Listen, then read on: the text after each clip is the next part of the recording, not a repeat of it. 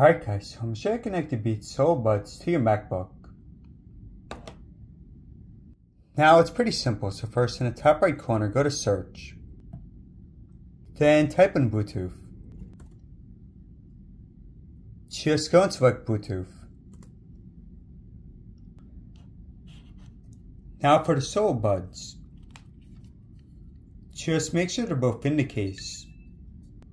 For the Studio Buds, for example, there's a button here that you would hold down.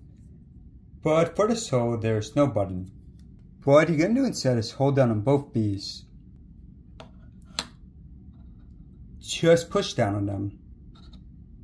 Until you hear a beep. Then let go.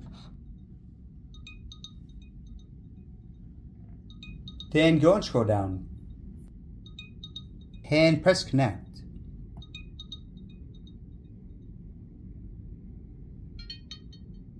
From here you can start using them.